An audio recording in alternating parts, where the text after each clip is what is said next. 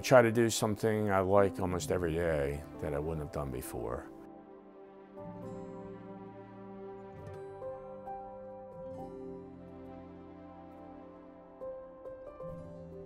Just being able to stand on your feet on cement floor is amazing. This may sound somewhat ridiculous, but before the operation, to go on, like to go to Costco and walk on a cement floor, I'd probably last about five to 10 minutes. That's all I could take.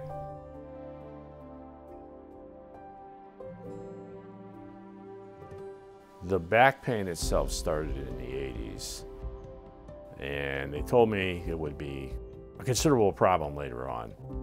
The pain had become pretty persistent.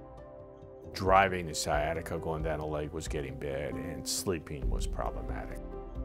Not being able to do things that you really enjoyed shapes you.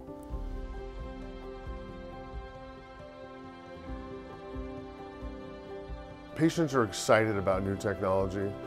Paul was excited about being the first patient at Bayview Hospital to be the recipient of the combination of this imaging and robotic technology, which is the ability to get an intraoperative CT scan and marry it directly to robotic guidance so that we can get updated pictures in real time of his spine and then uh, using a robot allow us to navigate very safely to put in new hardware.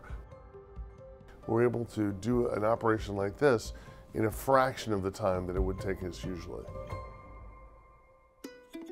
That's my wife and I. First day we were out in California. The small victories felt really good. You can walk somewhere and it's not painful. And the victories get bigger as you improve. Things got better. All those little simple things are things you, you know, maybe you don't appreciate until you can't do them. You know, my wife and I have reached that age where you could sell the house, move someplace else, do something different. And one of the things we come back to is I don't know if I could match the healthcare in other cities. I mean, to have Hopkins in your backyard is extremely important. It's a comfort thing.